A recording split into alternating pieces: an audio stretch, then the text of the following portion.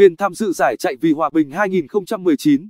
Chung kết giải chạy báo Hà Nội mới mở rộng lần thứ 46, vì hòa bình năm 2019, khai mạc vào lúc 7 giờ ngày 29 tháng 9 với gần 1.500 vận động viên tranh tài.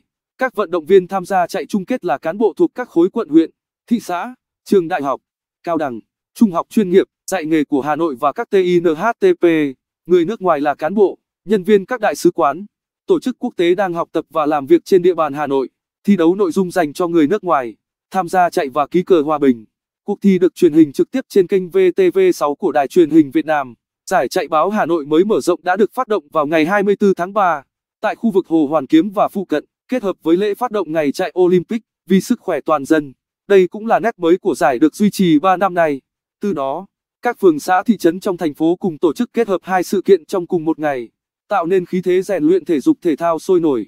Kết thúc giải chạy, ban tổ chức sẽ trao giải cá nhân cho các vận động viên nam nữ xếp hạng từ 1 đến 5, trao giải đồng đội cho các đội từ 1 đến 3 của từng khối. Theo ban tổ chức, tổng thưởng của giải lần này khoảng 200 triệu đồng.